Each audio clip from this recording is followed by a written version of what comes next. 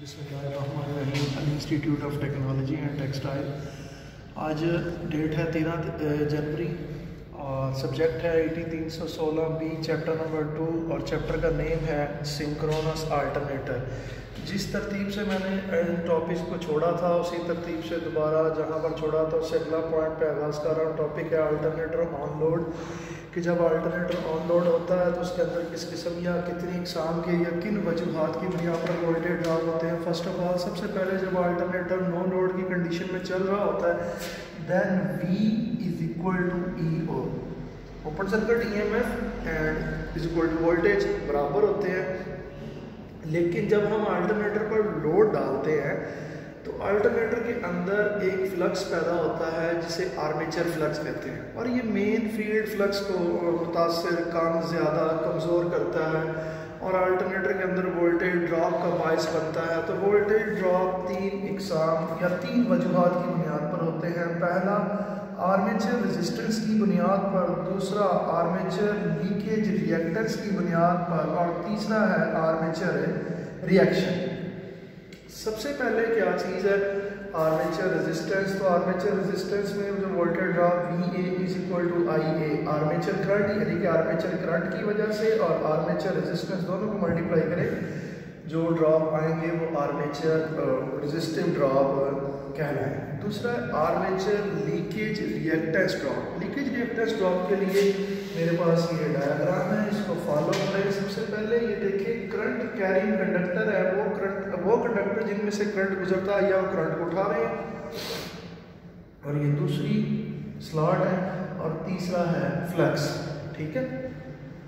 अब वो फ्लक्स जो वाइंडिंग को कता कर रहा है, उसके अंदर ईएमएफ इंड्यूस्ड और करंट फ्लो करवाने का बाइस बन रहा है, वो हो गया म्यूचुअल फ्लक्स और जो करंट जो फ्लक्स आर्मेचर सॉरी कंडक्टर को कता नहीं कर रहा तो वो क्या कहलाएगा? लीकेज फ्लक्स और इसकी वजह से जो ड्रॉप होंगे, वो X L is equal to two pi F L इसका ये फार्मूला है। तीसरा है आर्मेचर रिएक्शन क्या चीज़ है? कहता है आर्मेचर फ्लक्स का मेन फ़ील्ड फ्लक्स पर असर अंदाज होना।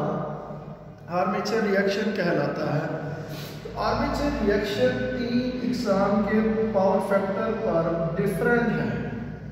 First of all unity PF load second zero lagging PF load third zero leading PF load सबसे पहले zero lagging sorry unity PF तो यूनिटी पीएफ के ऊपर जो आर्मेचर फ्लक्स है, वो मेन फ़ील्ड फ्लक्स को फाइव एम को क्रॉस मैग्नेटाइजिंग करता है, यानी कि सेंटर से कट करता है। ये हमारे पास एक जो हाफ़ वेव है, ये कितने डिग्री की होती है? 180 की तो इसका इसका दरमियानी एंगल फिर बनता है 90 डिग्री यानी कि ये एक दूसरे से 90 डिग्री के फ़र्क पर वाक़ है। फाई एम लीड कर रहा है फाई ए लैग कर रहा है। तो ये देखिए, उसको फेजर डायग्राम की सूरत में भी दिखाया गया है कि फाई एम है। फाई है, दोनों के दरमियान 90 डिग्री का एंगल है, ये लीड पर है और ये लैग पर है। इसे कहते हैं फेजर डायग्राम और इसे कहते हैं वेव फॉर्म तो इस सूरत में जब power factor unity PF load होता है तो armature flux main field flux को क्रॉस मैग्नेटाइजिंग करता है, यानी कि कमज़ोर करता है। अब दूसरा आ गया ज़ीरो लैगिंग पीएफ अब ज़ीरो लैगिंग पीएफ क्या चीज़ है? अब इसको देखिए तो ये phi M main flux phi A armature flux दोनों सॉरी जो फाइव ए है, वो फाइव एम को डी मैग्नेटाइजिंग कर रहा है। अगर फाइव एम मुस्बत से स्टार्ट हो रहा है तो ये मनफी से, अगर ये मुस्बत मनफी पे इख्ताम हो रहा है तो मुस्बत पर। यानी कि दोनों बिल्कुल मुखालिफ सहमत में चल रहे हैं। और रिजल्टेंट फ्लक्स ज़ीरो हो रहा है तो ये देखिए, हमारे पास क्या चीज़ है? ये है फाई एम और ये है फाई ए और ये दोनों के दरमियान पाया जाने वाला एंगल 180 डिग्री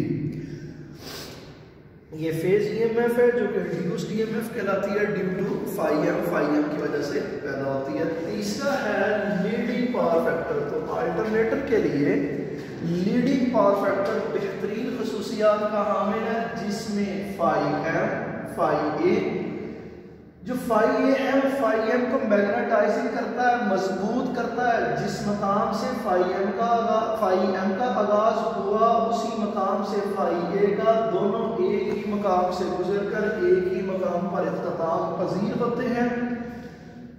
तो ये तीसरी खसूसियत है zero leading power factor load इसके अंदर जो फाइव ए है, वो फाइव एम को मैग्नेटाइजिंग करता है, मज़बूत करता है, और दोनों के दरमियान कोई एंगल नहीं होता। देखिए, दोनों इन फ़ेज़ हैं, कोई एंगल मौजूद नहीं है। हाँ फ़ेज़ ई एम एफ़ जो सी है, जो due to phi M phi M की वजह से पैदा होती है, उसके दरमियान कितने डिग्री का एंगल है? 90 डिग्री का एंगल है। तो ये अल्टरनेटर की ऑन लोड पर तीन खसूसियात थी, जो मैंने आपके सामने बयान है।